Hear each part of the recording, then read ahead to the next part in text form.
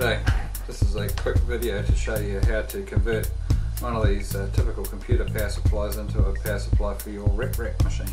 So when they first arrive, um, they come with uh, all the connectors that you'd uh, normally have for a computer and we want to get rid of some of these. Uh, now some of these are actually quite useful.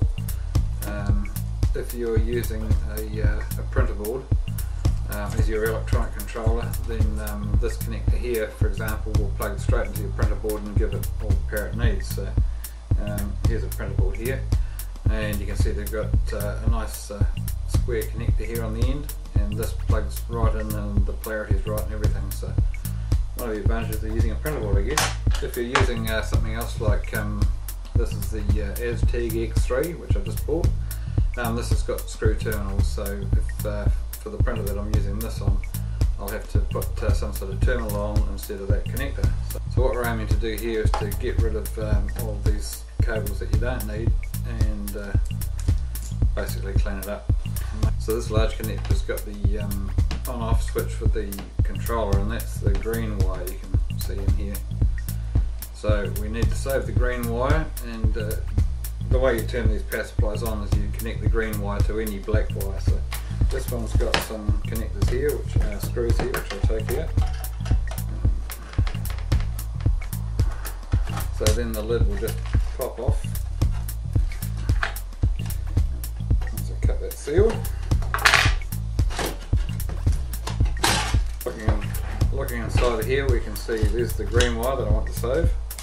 Um, we've got a big mass of cables coming in here. Um, now the only one I'm interested in uh, are the yellow ones which are 12 volt and the black ones which are the negative. Um, the other cables here are, um, there's an orange one which I think is um, 3 volts or something, red ones which are 5 volts, uh, none of them I'm interested in.